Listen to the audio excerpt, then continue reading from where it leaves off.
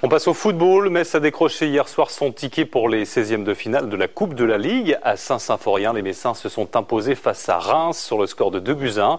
Les Grenats ont bien su réagir en seconde période après avoir encaissé un premier but rémois. Résumé de cette rencontre avec Pascal Judas et Emmanuel André. Dans ce match de Coupe de la Ligue, il aura fallu attendre la deuxième période et plus précisément la 50e minute pour que Reims ne mette le feu aux poudres d'une frappe magistrale de moins B. Une ouverture du score rémoise qui a eu pour effet de sonner l'heure de la révolte Messine. 55e, Laurent Aguazi égalise un but partout. Je crois que quand on mène un 0 à Metz, il faut, il faut tenir les 10 minutes où on sait que, l'équipe adverse va pousser pour essayer de revenir au score.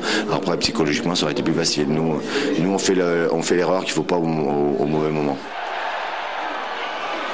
car pendant près d'un quart d'heure, les Grenats ont multiplié les occasions dominateurs. Les Messins ont fini par trouver la faille à la 72e minute. Julien Cardi d'une petite balle piquée trouve Cheikh Gay.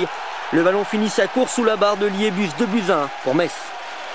On prend un but sur la premier exploit des, Rémois, donc euh, c'est vrai qu'après il a fallu batailler, mais contrairement à, Boulogne par exemple, on s'est pas désuni, on n'a pas senti une équipe qui, perdait le fil, qui perdait pied.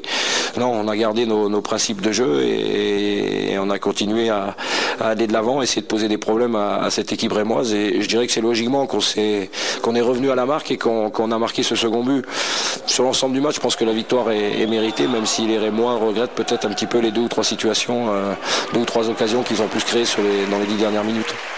Reims court toujours après sa deuxième victoire de la saison pour les 16e de finale de la Coupe de la Ligue. Deux clubs lorrains seront en lice, le FC Metz et l'AS Nancy-Lorraine. Et puis justement tout à l'heure, en début d'après-midi, s'est déroulé euh, le tirage au sort pour le prochain tour de cette Coupe de la Ligue pour les 16e de finale. Tirage au sort qui a eu lieu au siège de France Télévisions à Paris en présence de Carole Gessler qui vous présente le soir 3. On va voir tout de suite le résultat. Metz rencontrera un autre club champenois, l'Estac de 3. Et puis le club de L1 entre maintenant dans la compétition. Nancy est donc concerné. Nancy ira à Grenoble.